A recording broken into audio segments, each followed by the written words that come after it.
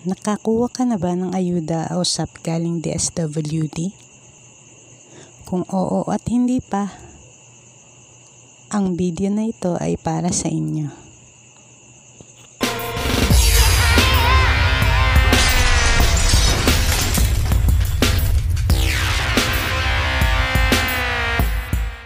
Hello, good morning po. Welcome to my YouTube channel. So, nandito po tayo ngayon sa kalsada. Dito po tayo ngayon nagbablog. This video po ay pag-usapan natin yung SAP. So, po. So, ngayon po ako pupunta sa palengke at ako'y mamimili. So, magbablog na rin. So, in this channel, in this video, ay pag-usapan natin yung SAP. Kung may nakakuha na nga ba ng SAP. So, happy po ako dahil ako po ay nakakuha na ng SAP. So, SAP is real. SAP is real, yes. So, dumating po ang aking ayuda galing gobyerno noong August 20. So, nag-text po ang DSWD o Gcash, di ko po alam. eh. So, ilalagay ko po dyan yung picture ng text ng DSWD at saka yung nakuha kong a text na message yung pera kung paano ko siya na-receive. So, yan. Medyo hinihingal po ako. So, pag-usapan po natin yung SAP. So, nangyari po ay na-receive ko po yung text. So, paano ko naman siya i-withdraw? So, ang sabi po ay i-withdraw mo siya through bank or withdraw mo siya through yung Gcash mo. Ah, nakuha ko siya sa pamamagitan ng Gcash. So, dumating sa account ko, chinek ko agad yung balance ko. At may nakita akong pumasok na 6.5 so yun. So naging balance total balance ko ay 6,508 1 point something so yun po. And then pag check ko sa balance ko so nung i-withdrawin ko na siya ng August 22 so nag error ang Gcash. So sabi sabi doon ay kailangan mo i-update yung Gcash mo. So update naman ako ng update so ayaw. So so may, ah paano ko siya paano ko siya withdraw so ito pag-usapan po natin kung paano ko siya withdraw so pumunta po ako sa isang authorized na tao nakakilala ko na mag magta-transact ng aking Gcash. So, so hindi ko po mapasok yung Gcash ko. So, ang ginawa po niya ay nagpasa load muna siya ng 100 pesos kung pumapasok. So, okay naman po yung confirmation. May pumasok na load ng 100. And then,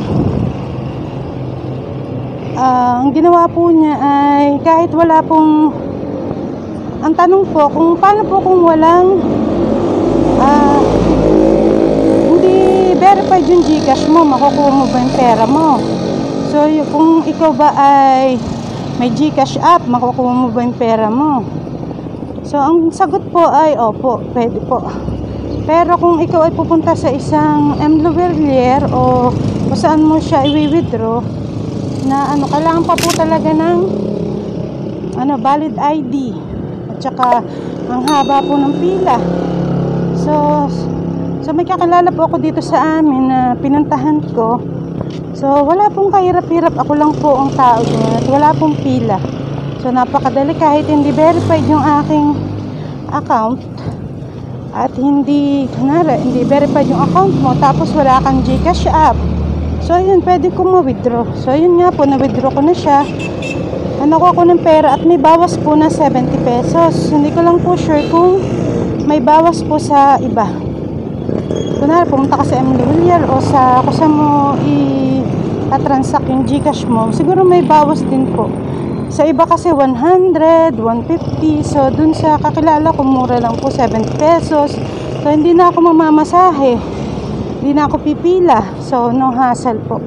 So, yun po, napakadali po nung nangyari po. Nakuha ko ng pera ko at napakadali at walang pila at walang kahirap-hirap. So, yun po. So, ang tanong naman po ay kung paano po yung mga hindi pa po nakakakuha ng ah, Gcash perang galing sa DSWD. So, masasabi ko po, kasi po ako ay Gcash, uh, nireceive ko po yung aking money through Gcash. Tapos yung kapatid ko po ay nireceive po nila yung money nila through cash. Tsaka yung isa ko pa pong kapatid, so hindi pa rin po dumadating dalawa sila. Tapos may nakasalubong pa akong kaibigan. Tinanong ko kung may nakuha na sila. At marami pa pong hindi po nakakakuha rito. So sa tingin ko po, yung mga yung mga niregister nila through cash or ay through GCash ay nakuha na po nila yung mga pera nila. So marami na po dito sa amin nakakuha. Ang tingin ko po ay nag ano sila, nag GCash sila. So yung mga cash o yung i-receive sa LGU o DSWD wala pa po. So yun po ang kagandahan. Dumating na po yung pera galing GCash. So kung meron pa po kayong mga katanungan and question, pwede niyo po akong tanungin o i-chat. Comment down below po para masagot ko po kayo. And kung kung nagustuhan niyo po ang aking video, ay pwede po kayong mag-like, comment, and subscribe po sa aking YouTube channel. So wag niyo pong kalimutan, subscribe niyo po ako. So nandito na po ako habang naglalakad. So ayan no. Naglalakad ako. So haba na po ng aking nilalakad nagbablog. So, malayo pa po yung palengke. So, siguro mangyayari po sa pa, sa perang aking nakuha ay yung 3,500 ay ipambabayad ko sa sa ano sa kuryente tapos yung matitira pambibili ng kalahating kabang bigas tapos yung iba pambibili ng grocery. Samahan niyo po ako mamaya. So wag niyo pong Kalimutang mag-subscribe and click the notification bell para updated kayo sa aking video. And see you next next. Shout out po kay Alessandro Amazing Vlog. Shout out po kay Passionata Channel. Shout out po kay Sans Kitchen. Shout out po kay San Little Angel.